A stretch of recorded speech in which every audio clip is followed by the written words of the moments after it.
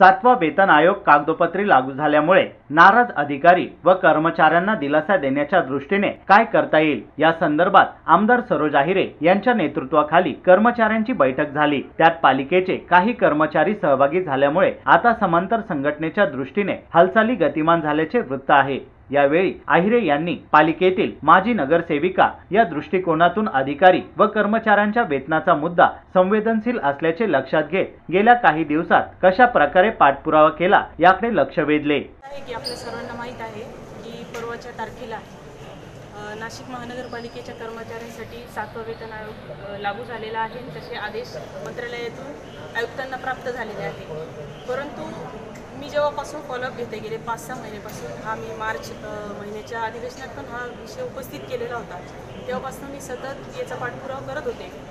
परंतु याच्यामध्ये काही त्या श- शासन आदेशामध्ये काही त्रुटी आढ आढळलेल्या आहेत की जशी शासनाची जी काही वेतन श्रेणी आहे त्याला समकक्ष हा शब्द लावल्यामुळे आपली वेतन श्रेणी ही दहा टक्के जास्त आहे कर्मचाऱ्यांना आणि तो त्यांचा अधिकार आहे तो असा की दर बारा वर्षांनी आपल्याकडे महाकुंभमेळा भरतो. महाकुंभमेळा हजारी एक वर्षासाठी असला पण पाच पाच वर्ष पहिले त्याची तयारी असते. आणि एकोणीसशे पंच्याऐंशीला त्यावेळेला ॲज अ गिफ्ट म्हणून त्यांना जी दहा टक्के वेतनवाढ मिळालेली होती ती आता कमी करण्याचा किंवा त्याचा लाभ न मिळण्याचा आत्ता मला नाही वाटत की प्रधान सचिवांना अधिकार आहे कारण जो काही जी आर त्यांनी इश्यू केलेला आहे त्याच्यामध्ये त्रुटी आहेत आणि तो दुरुस्तीची अत्यंत आवश्यकता आहे. मी राज्यमंत्री महोदय आणि तनपुरे साहेब असतील किंवा माननीय उपमुख्यमंत्री अजितदादा यांच्याकडे हा विषय मांडलेला आहे.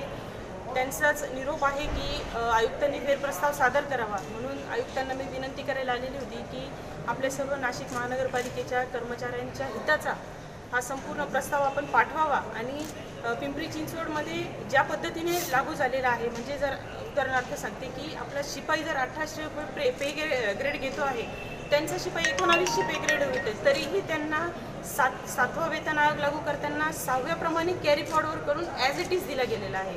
मग आपल्या याच्यामध्ये का तिथे हा शब्दप्रयोग झालेला नाही आहे कारण उद्या आयुक्तांना शासनाचा आदेश मान्य करावा लागेल आणि तो ॲज इट इज त्यांना फॉरवर्ड करावा लागेल. पण आमची विनंती तीच आहे सर्व कर्मचाऱ्यांच्या वतीने की नवीन सुधारित आदेश शासनाने हा द्यावा. त्यासाठी आयुक्तांनी त्यांना एक कर्मचाऱ्यांच्या हिताचा प्रस्ताव सादर करावा.